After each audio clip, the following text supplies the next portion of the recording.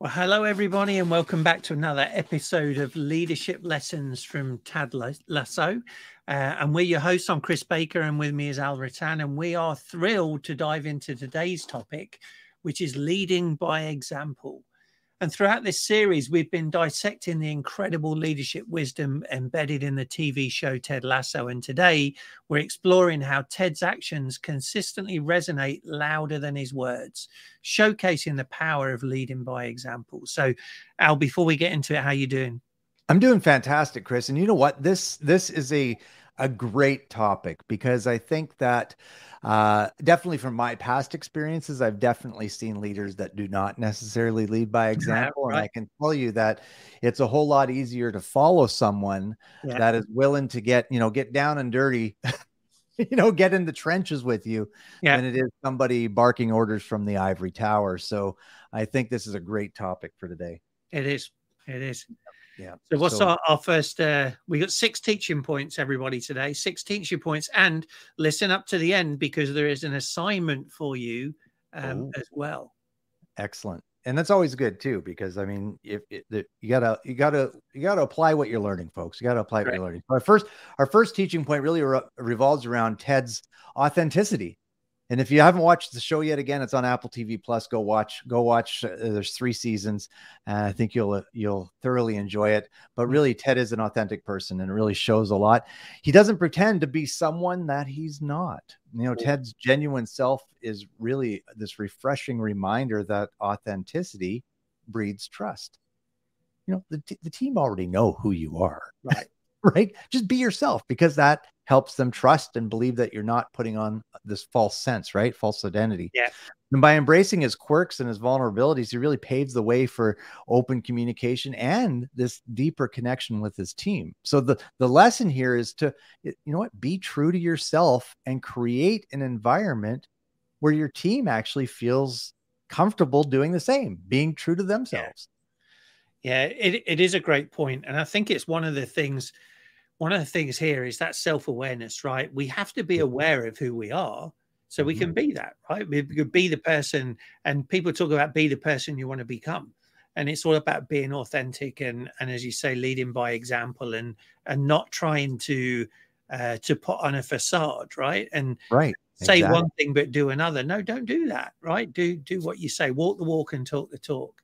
It's really about being, you know, having integrity with who you right. are. Right? Yeah. Right. Yeah, and, and I, I love the, the, the definition of integrity that I've seen before is doing the right thing even when no one else is looking. Exactly. Right. Yeah. That's what we're talking about, folks. So yeah. let's look at teaching point number two. It's humility and learning. And Ted's humility and willingness to learn from uh, from anybody is our second teaching point. He he really admits when he's uh, so readily admits when he's unsure or doesn't have all the answers. So this vulnerability not only humanizes him, but also fosters a culture of continuous improvement. Mm-hmm. So leaders who can admit their mistakes and seek growth inspire their team to do the same. Because guess what, folks? None of us are perfect. Nope. So don't try and make out you're perfect. No, you know, we we we should be failing, right? If we're pushing ourselves and stretching ourselves. Mm-hmm. But failure is only final when you quit. Until then, it's a learning opportunity, not only for you, but for your team. Right? Absolutely. So embrace it. Absolutely. And I think, you know, and again, humility too is, is, yeah. I just think that there's so many, or it's showing this humility and this vulnerability. So many leaders are afraid that if they do this, that you know someone else will take over or they'll right. lose their job or they'll lose the respect of their team or they have to have all the answers and i just realized you know chris the older i've gotten the more I guess I guess the more humble and vulnerable I've become right. because now I don't mind going, uh, excuse me, I don't know what you're talking about. Could you be a little bit more clear? Yeah. Where I used to nod and smile and pretend I knew what was going on. Right. well, and, and that's the, the the thing where where people generally don't like to admit that they've got weaknesses, right? Because they exactly. see that as a weakness. As a weak, yeah. It's actually yeah. a strength right? Identifying, understanding areas where you're weak in, and then seeking out other people to either help you in that or to partner within that area. Right. It's a strength. You yeah, know, and it's, exactly. it's, the same with us, Al. We've got strengths, we got different strengths, right? And we put those together um, and and we we sort of cover each other's weak areas, and together Mhm. we're stronger, right? Absolutely. And that's that's really what a leader should be doing: is building a team that is a well-rounded team that supports them and and and covers the areas where they're not so good, and then Exactly. you you help lift everybody up. Exactly. And I love what John John Maxwell teaches. And he has he's written a book, you know, the 21 irrefutable laws of leadership. And, you know, it's sold millions and millions of copies. And it's probably one of the best leadership books out there hmm. today. And he says that even in the 21 laws, he put them in the book, but there's five of those laws that he's not good at himself. But he said, but they're laws. They need to be in there, right? And I and he's I'm not good in these areas, but he was wise enough to bring people around him that were were good in those areas. Yeah. So they could have a more well-rounded leadership team. Yeah. And I think that's that's you know showing that humility and that vulnerability, saying, "Hey, I'm not I'm not good in this area. I need somebody around me that is strong." Mhm. And and it, so yeah, I you know take that for what it is, folks. I think you should that's something you should be doing if you're in leadership. Uh, we'll move on to teaching point number three, and that's really talking about uh, empathy and empathy in action specifically. And and Ted really does display remarkable empathy. Right. He he genuinely cares for his players and the staff, going beyond these superficial concerns. And I think a lot of people fake it out there today, and they don't really understand or show empathy. And I think if we did, if we did show it, I think we'd have a much better world, to be honest. But you know, whether whether he's talking about Roy's emotional struggles or Nate's self-doubt, Tem- Ted demonstrates the power of listening and understanding and offering support. Mhm. And and through these these actions, he shows that that empathy is more than just a buzzword with him. It's the, it's the foundation for effective leadership, and he takes that to heart. Yeah, it's so true. And and all of these things really are, are, are things that we're not taught, right? You know, we, No. we're not taught how to think or how to listen. We're taught what to think and and just to listen. all right. Exactly. And Yeah. and really what we're we're doing here, that power of listening, it, it- you know, I'd go further and say it's the power of active listening. So it's being present with people, showing that that care, compassion, and concern, that empathy. You know, again, being humble and learning from them um, and being open to that. And Ted's great at that. And then offering that support, right? And and um, you know, people will respond to that. And I've tried to to do this in in um, in my leadership career, and you know, my early days I wasn't very good at it, but I've got better and better. Do I Mhm. sometimes slip up? Absolutely, we all do, right? That's what we're saying. We're not perfect. Perfection doesn't exist because Right. if it did, we couldn't strive for continual improvement, could we? Exactly. So, you know, they, they, it's it, we we choose the continual improvement rather than than saying we're perfect as we are. We can't get any better. Absolutely. Absolutely. Yep. Yeah. So our, our fourth point is is how Ted Lasso teaches us about accountability. All right, that A word, big A word. He Mhm. doesn't shy away from holding himself accountable or challenging others to do the same. He sets high standards for himself, and by doing that, he inspires those around him to, to step up their game and, and rise up. And this Mhm. aspect of leading by example can can actually transform a whole team's performance and commitment. So, you know, are you expecting others to be accountable for their actions when you're not being accountable for your own? Right. Right. Um, you know, it starts with you. All right. Again, goes back to leading by example. It really does. And you know what? And again, I think this accountability things comes down to, you know, a, a lot with responsibility as well. And as leaders, we're ultimately responsible for the performance of our team Right. and those that report to us, right? And at the end of the day, uh, we're we we're accountable for their actions as well. So Mhm. it's up to us to hold them accountable to their actions, but it's also to the people that you know. If you're a leader, to those that you report to, you're accountable for the entire the entire like if you run a retail store you're responsible for the results of that retail store you're accountable to your superiors the district manager regional vice presidents whoever it may be president of the company uh, and and at the end of the day we need to take accountability and responsibility for what is happening in our location Right. and i think a lot of people try to pass the buck so to speak instead of standing up and saying no you know what ultimately it's my responsibility Yeah. It is. Yeah. Yeah.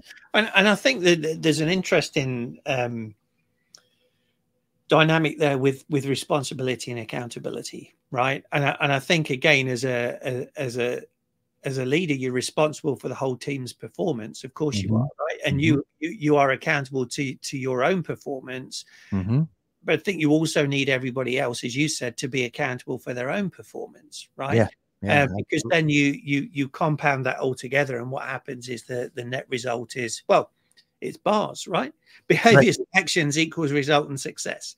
Exactly. Right? So, it, so if the people on your team and yourself are displaying below average behaviors and actions, guess what? You're going to get below average results and success. Yeah. So if you can increase those behaviors and actions the the by you know 10% 15% in a positive direction then your results and your success are probably going to be much greater than 10 or 15% higher because it's a compounding uh, effect exactly exactly that's great so let's let's let's move on to point number five and really our fifth lesson centers on ted's unwavering positive attitude. Mm. you know, in the in the face of all these challenges and setbacks and he does experience a few yeah. throughout the series right? Yeah. He, he remains optimistic and really encourages his team to do the same. And i think that you know again this this just speaks to the the leader really sets the tone for the organization right and and if we're if we're struggling or and we're going to have bad days like we've said before nobody's perfect yeah. to have bad days but if we're struggling and not being positive and you know we're negative all the time or allowing the the the circumstances of the day dictate our attitude and our behavior and our emotions and our feelings mm-hmm. then that is contagious throughout the team so yeah. we really yeah. need to you know have that remain that optimistic and that and that encourager within the organization and this positivity really is infectious and yeah. boost the team morale, even in the toughest times. Right. So as leaders, we can we can take away this lesson as the as an important the importance of really maintaining this hopeful outlook and really infusing it into our teams by remaining positive. Right. Yes, we're going to have bad days. Yes, we're going to have setbacks, but we don't let that we don't want to let that become uh, the mm-hmm. norm in right. our organization or in our team. And I, again, there's so many teaching points we could we could uh, we could talk on this positive attitude probably for for hours, but yeah. it's you know my favorite Henry Ford quote: "Whether you think you can or you think you can't, you're usually right." Right. It's positive attitude, right?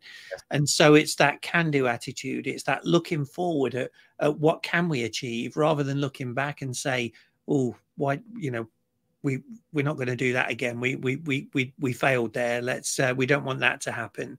Right. You know, and so so keep moving forward. Um, mm-hmm. And you know, we've talked again about live in fear of of regret. All right, don't live in right. fear of failure. Live in fear of regret. Exactly. Um, so keep trying new things. Keep moving forward. Keep inspiring the team. Control the controllable, mm-hmm. and let mm-hmm. everything else go. Because if you can't control it, stressing about it and worrying about it is not going to make it any different. The only person that's going to suffer then is you and your team. So so use that positive attitude and that takes work, right? Because negativity comes naturally. Positivity exactly. takes work and exactly. it starts with you as a leader, right? And even if you're not a leader, uh, but you're someone that's positive on your team, by proxy you are a leader because other people will follow you Right. Exactly. So, so we are all leaders. So. Over somebody. Yeah. Yeah. Right. And pardon yeah. me for stepping away there. And if you watch the video later, you saw me. Maybe Chris, next time before we go and hit record, that I remove the dog from my office because she thought it was time to play. Yeah. Funny. and I was like, I'm trying to record here, Bella. All right. Well, we, we, we're nearly ready, so you can go and play with Bella in a minute. Yeah, so let's move on to our, our last point, and that's Ted's investment in relationships, and, mm. and this really rounds out our teaching points for today. He he goes beyond the professional realm. He takes a genuine interest in the lives of his players and staff. The investment builds trust and camaraderie, proving that genuine connections lead to increased loyalty and dedication. Wow, and that's a, good. A, a, great example of this is, um, and again, I don't want to spoil it if you haven't watched the show, but but the Rebecca, who is the, the, the chairman of the of, of, Richmond AFC, basically brought Ted in as a joke, right? Ted was a, an American football college coach that they brought in to to manage an English football Premier League team, right? So right. It, it's not something you would do. Um, but Ted actually started taking her in a little cookie every day, mm-hmm. right? And she would eat the cookie, and you could see he was building a relationship. You could see he was creating a connection. And it turned out he was actually baking those cookies every day for her. Right. And that that sort of carried on throughout the the seasons and mm-hmm. um, it, it, really turned that relationship round and it's a great mm-hmm. example of how you can you can you can build bridges you can work on relationships and you've got to invest time you've got to invest effort mm-hmm. uh, into those relationships and that will pay you back tenfold hundredfold in the future Absolutely. And I sort of relate this to, you know, we we all know about John's uh, five levels of leadership, and he talks about, you know, if you're sitting at that first level of leadership, yeah, you're not building relationships because that's just about a positional level, right? Yeah. You have to follow yeah. me because I have a title. You've put no effort in, you haven't earned you maybe earned that title in the eyes of the people that promoted you, but you haven't earned that title in the people that report to you. Mm-hmm. Uh, you really need to build relationships, and that helps move you up those those levels of leadership. Yeah, for you sure. never get far at the positional level. No, no, no. So we have an assignment. We, we do. So before we wrap up, we want to we want to talk about this for a moment. So we want you to think about a leader you admire, whether from real life, fiction, or you know even Ted Lasso himself. Mm-hmm. Reflect on their on the their actions that demonstrated the concept of leading by example. Now, how did their behavior impact the team's organization? Now, take these lessons and apply them in your own leadership journey, and then share your insights with us on social media using the hashtag Ted Lasso Leadership. All right. So, again, reflect on their actions, put them into practice, mm-hmm. you know apply them in your own leadership journey and then share what you've learned from this or what you've witnessed from this and doing these things on social media with the hashtag ted lasso leadership yeah and Al, i think what we should do is we should probably go into our um our facebook group mm-hmm. facebook group and we should maybe talk about this and and you know share who we feel um are leaders that we admire that have displayed this and why. So again, yeah, if, you, if you're not a member of that Facebook group, come over and join us, and yeah. we'll probably do that that uh, live on there within the next um, week or so. I would think. Yeah, just search uh, Facebook, Raise Your Bars Personal Growth Solutions, and you'll see the page and, and join us in the group. Yeah, so there you have it, folks. Six essential teaching points on leading by example, inspired by the remarkable Ted Lasso. Mm-hmm. Now, remember, actions speak louder than words. And as leaders, it's our duty to set the tone for our teams through our behaviors. So join us next time for episode six, where we'll be delving into resilience in the face of adversity as yet another nugget of leadership wisdom unfolds in leadership lessons from Ted Lasso. Until then, lead with a heart and lead by example. Bye for now. Take care, everyone.